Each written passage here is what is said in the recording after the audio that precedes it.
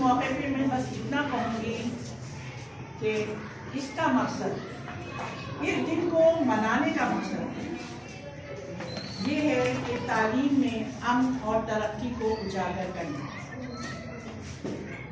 और ये पेशा आपको पता है कि हमारा पैगम्बरी पेशा है।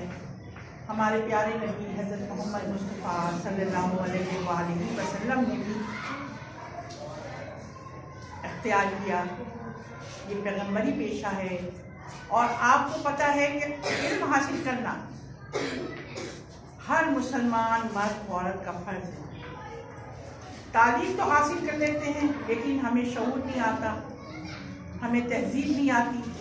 तालीम हासिल करें, लेकिन उसके साथ साथ आपको अदब, लिहाज, हर चीज़ पे अहमियत देनी होगी। अगर वो मुल्क है, वो कौमें तरक्की करती हैं जो कुछ करके दिखाती हैं। जो तालीम में आगे होती हैं। इसलिए आप लोग कोशिश यही करें कि अच्छा इल्म हासिल करें, मेहनत से पढ़े, तवज्जा से पढ़े।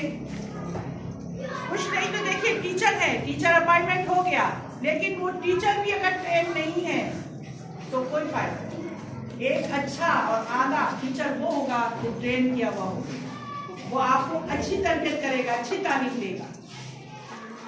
मैं यही चाहती हूँ कि ऐसा टीचर हो जो आपके लिए भी अच्छा साबित हो, जो आपको अच्छी तालीम दे, आपकी तरक्की कर पाए, आगे बढ़े आप, तरक्की करें, मुल्क का नाम भी रोशन करें टीचर का नाम भी रोशन करें। तो आपका नाम और आपका भी नाम रोशन होगा। शुक्रिया।